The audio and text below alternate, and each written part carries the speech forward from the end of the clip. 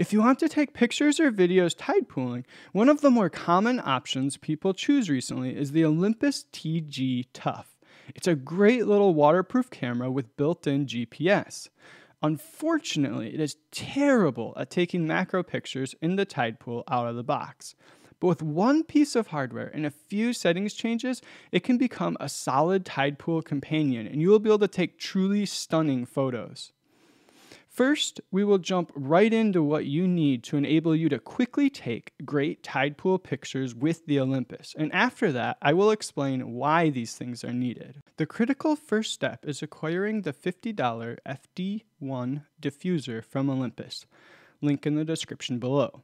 While the diffuser is apparently compatible with all of the Olympus TG camera models, 1 through 6, it is only supported at a software level on models 4 through 6, and I would suspect it won't work very well for tide pooling without software support.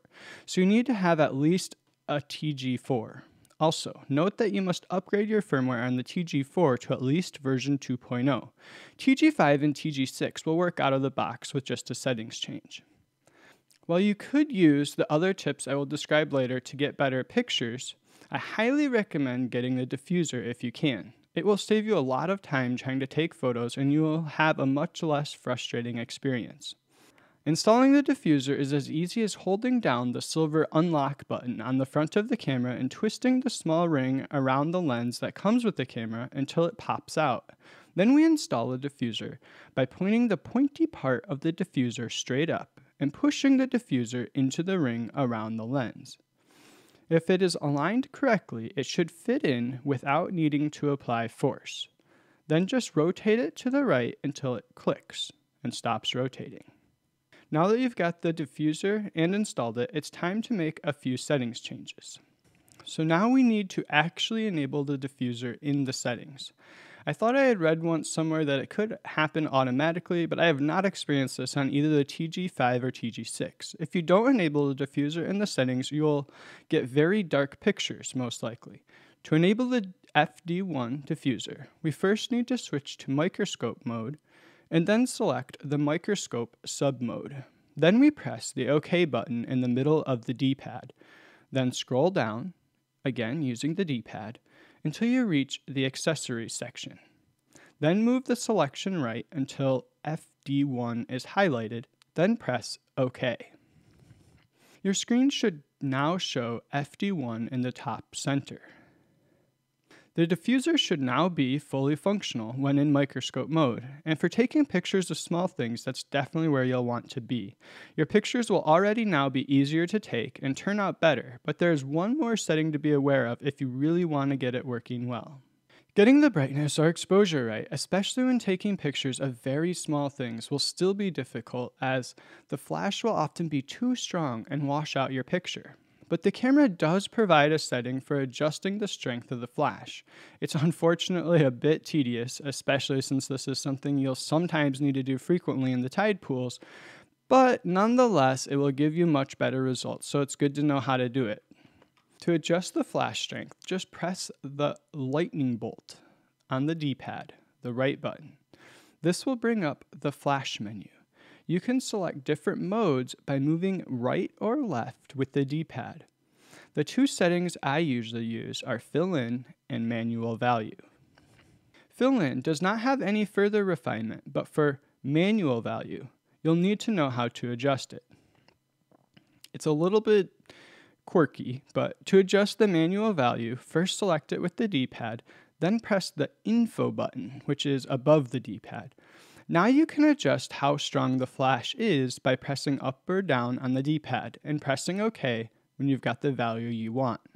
It takes a little getting used to, but with some practice, it'll be a little bit more natural. I'm usually in the range from 1 quarter to 1 16th strength, but it's mostly a trial and error process. Adjusting the value based on if your photos are coming out too light or dark.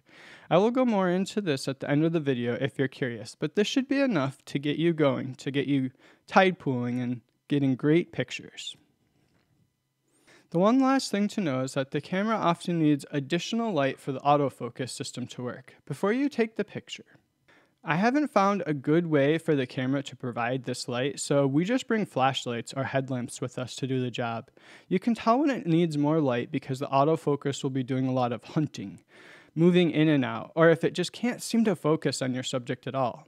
Just shine some light at your subject and you'll notice the autofocus immediately working better. It can still be challenging if your subject is only a few millimeters long and the lens is nearly touching it, in which case we use a waterproof flashlight to get some light in for the autofocus, but this isn't strictly necessary. And before we get into the reasons behind the process we went over, I'll just give you a couple tips about the GPS. If you want to capture the GPS positioning of your photos, you just need to make sure the camera's GPS has a fix before snapping the picture. When the GPS is working on getting a fix, but hasn't yet, there will be a satellite icon on the bottom left of the screen that is flashing. Once it has a fix, the icon stops flashing and becomes solid. If you're having issues with it taking too long to get a fix, you can also try using log mode, the switch on the top of the camera, which is supposed to improve the situation, although you may need additional software. We haven't tried this much since it really eats up battery, and changing batteries in the tide pool is not ideal. You may also get faster GPS fixes if you update your camera's firmware from Olympus, as that can provide more recent information on the position of satellites, allowing the GPS system to find them quicker. So now, you should be ready to go tide pooling and take some great photos with a bit of practice. But why did I suggest the things I did? The reasons come down to lighting. Because of where the flash is on the Olympus, it just doesn't work well with underwater macro photography. The light doesn't penetrate evenly to your subject in a lot of cases, and the camera doesn't seem great at adjusting the shutter speed to fit with the strength of the flash it uses. Olympus could probably fix the latter issue in software, but the positioning of the flash and its concentration is what really requires a diffuser. So really the thing to keep in mind when the camera is struggling to give you the results you want is to check the lighting first. If the camera isn't getting enough light for autofocus or for the photo itself, you won't get good results. But both things can be fixed as we discussed earlier.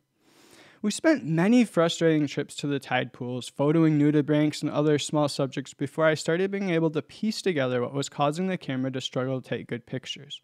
Once I realized they were all related to lighting, I looked into how to adjust the flash strength and also discovered the Olympus had created the waterproof diffuser, which seemed like it would be exactly what was needed, and fortunately, it was. So hopefully, those tips will help get you great tide pool macro photos. If you have any further tips or questions, feel free to leave them in the comments and we'll respond.